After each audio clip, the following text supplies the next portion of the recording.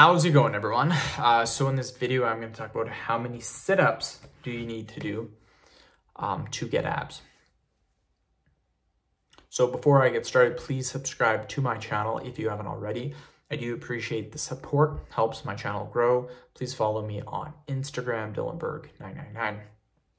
So sit-ups are really, really good, you guys, to get abs. Now, what I actually recommend to do, I will tell you how to get abs for body weight, and I'm gonna tell you guys another trick too.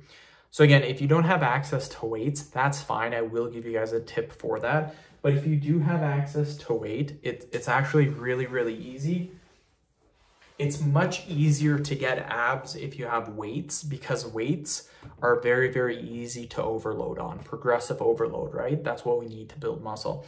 So all I do when I am training my abs is I get the weight and I just put it behind my head like this, and then I do a crunch. This adds resistance to the ab crunch. It actually helps to develop uh, muscle way faster. That's just a 10 pound plate. When I first started doing this, I started off with 10 pounds. Then I would have two 10 pounds, so 20 pounds. And then I moved to a 25 pound. And now for my ab crunches, I actually hold three 25 pound plates. Sorry, I, I used to hold two 25 pound plates and then I moved into holding two 35 pound plates. So I'm holding 70 pounds behind my head doing ab crunches. My abs, even I'm sitting probably 14% body fat right now.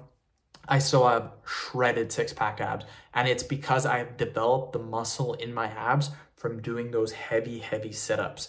So if you ha have access to weights, all you need is a basic ab crunch holding a weight behind your head, your abs are gonna start to pop really, really fast, you guys. You're gonna start to notice the difference. Now, you don't have access to weights, that's fine. You don't need them to build abs. You can still get abs.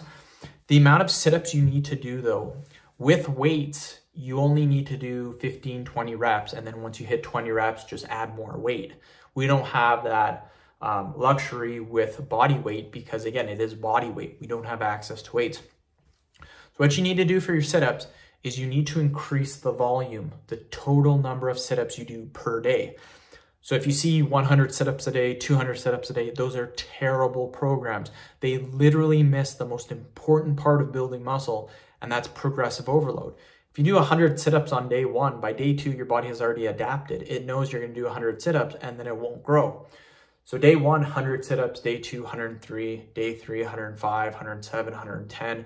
Eventually, you're gonna start to do 200, 300, 400, 500 sit-ups, and you're gonna start as you're gonna start um, to notice your abs are really going to start to come in. But the key is doing more than the previous workout. There is no exact number of sit-ups that you need to do. I would say though, once you start getting into the four or 500 sit-ups per day, you're going to start to notice your abs are going to be really shredded. So end the video. Thank you so much for watching.